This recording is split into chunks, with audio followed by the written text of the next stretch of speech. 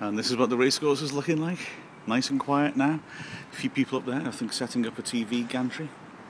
And some TV crews down there as well. But uh, the calm before the storm, three hours' time, and this place is uh, going to be very, very different from here. Uh, I'm feeling nervous and, and, a little bit responsible for tonight as well.